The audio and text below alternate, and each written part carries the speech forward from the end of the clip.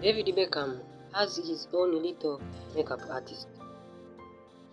In an adorable Instagram post on Monday, the former soccer player credited his 12-year-old daughter Harper, who he shared with his wife Victoria, as the person who makes sure he has enough powder and contouring. Daddy, appear, Daddy apparently needed a little powder contouring.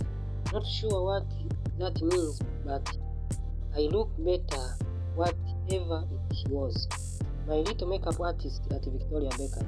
He wrote as the caption of the sweet father and daughter moment, which was praised by many of his 81.6 million Instagram followers in the comment section. Love her and the way you are with her. One Instagram user wrote, another fan commented, blend it like Beck- Beckham.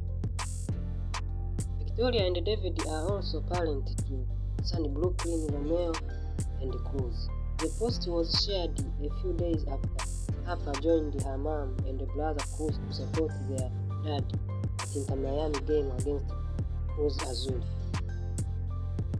The retired soccer star is an Inter Miami co-owner and was celebrated by his family an Instagram post on Victoria's page after the team's latest win. I just can't express how proud of at David Beckham I am. Wow, what a night in Miami at Cruz Beckham. Hashtag Harper 7 Victoria. July has been a big month for Harper. She celebrated turning 12 years old with a trip to the Prada Cafe in Harrods department store in London and a visit to what to work Disney World.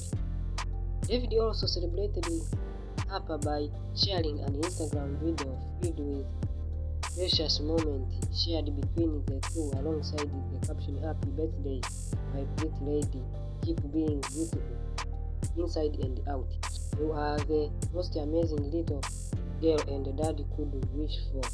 Daddy loves you. Hashtag Harper 7 Victoria Beckham, Brooklyn Beckham, Romeo Beckham, and Cruz Beckham. While Harper isn't on social media, Victoria shared in a previous interview with Vogue Australia that she and her husband worry about how the body shaming has erupted on social media and how that might impact her as she grows older. Harper isn't on social media, so we don't have to worry about that just yet.